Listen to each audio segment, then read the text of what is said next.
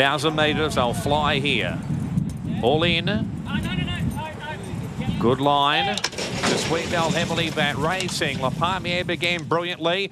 Uh, rolling forward, they're over on the outside at a sneaky five. Rubiquitous up into third. Just Sweet Bell is fourth, but uh, putting a few rough strides in there. Being passed by shooting for gold on the inside. Simply flies out deeper. Losing a bit of ground there is just Sweet Bell. Further back to Dr. Zeus. Genzai the Wolf. They're clear from Alpine Edge.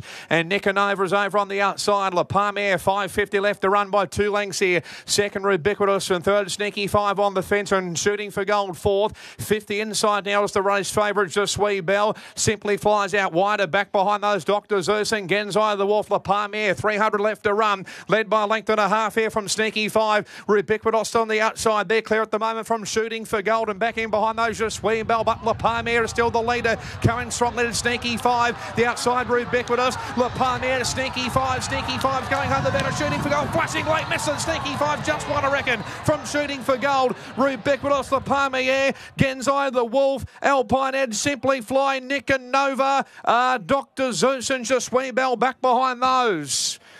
Sneaky Five will hold on to win from shooting for gold. Who roared late.